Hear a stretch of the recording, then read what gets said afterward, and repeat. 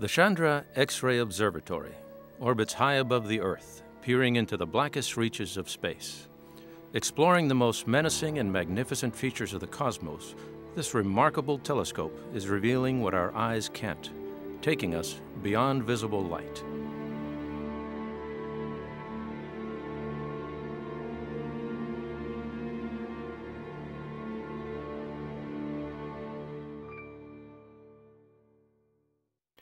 The cosmic ocean twinkles and transforms with the birth of stars and their explosive demise into supernovas.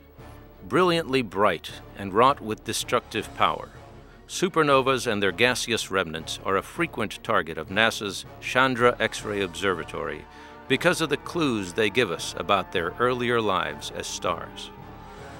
Equipped with X ray detectors to cut through the clutter and glare that blind optical telescopes, Chandra has revealed details about supernovas that help to show them for the stars they once were. You see the, the effects of the swept up interstellar medium lighting up a ring of X-ray emission. You see the effects of the back pressure from that pushing back towards the inside of the explosion where all of the ejecta, the, the, the stuff that was formed in the explosion in the, in in, in the, in the interior of the star flying out, that's being compressed and heated to X-ray temperatures as well. Stars can burn anywhere from millions to billions of years. Exactly how long they thrive for depends on the amount of gas they have to feed their nuclear furnaces. Eventually, though, their fuel is exhausted and the fire goes out. Like a baby's first glimpse into the outside world, the Chandra X ray Observatory's first sight in deep space was a bright supernova remnant called Cassiopeia A. In that very first image, we made a discovery. There was a little um, point source at the center, which is probably the collapsed core of the star that exploded when the supernova went off.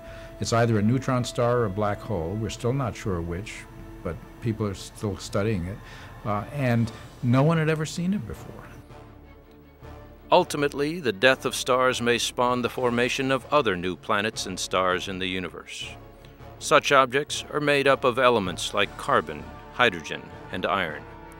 These elements are forged deep in the hot interior of stars and need a self-destructive explosion to unleash them.